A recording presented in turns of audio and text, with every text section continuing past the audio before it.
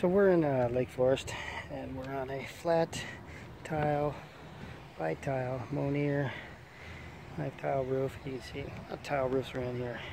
And um, I'm going to show you why you probably want to get these roofs. When you have a new roof put on, you probably want to have it inspected. So this roof is only about 10 years old. You can see a bunch of broken tiles. I don't think these were done when they did the original roof. But can see missing a storm collar. Caps, no doubt they're not screwed on. I mean, look at that. that that's crazy. That's crazy.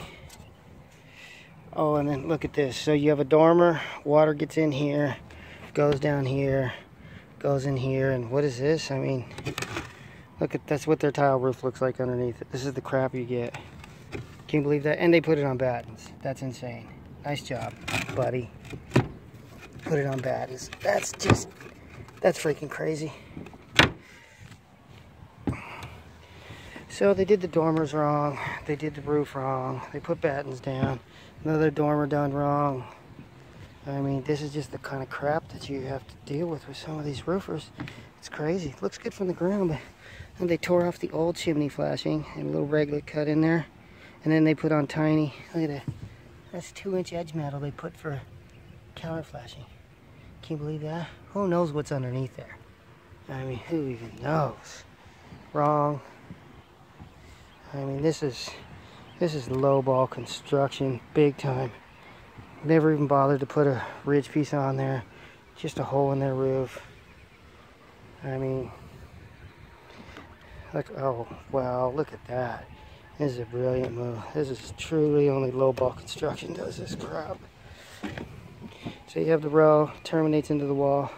No edge metal, no nothing. Look at that. Just sitting there.